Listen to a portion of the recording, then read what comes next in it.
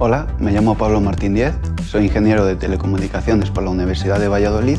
y junto con el apoyo de mis tutores María Jesús González Morales y Juan Carlos García Escartín, hemos desarrollado un sistema de identificación de usuarios basado en la tecnología RFID.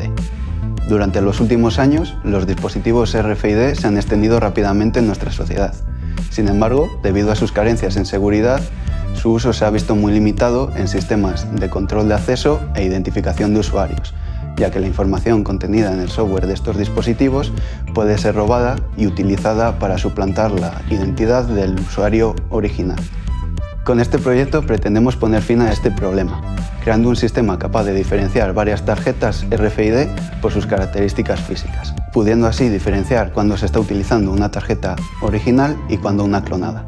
Para ello, el sistema utiliza una señal de radiofrecuencia de muy baja intensidad para generar una huella electromagnética única que le permita identificar una determinada tarjeta RFID entre todas las demás.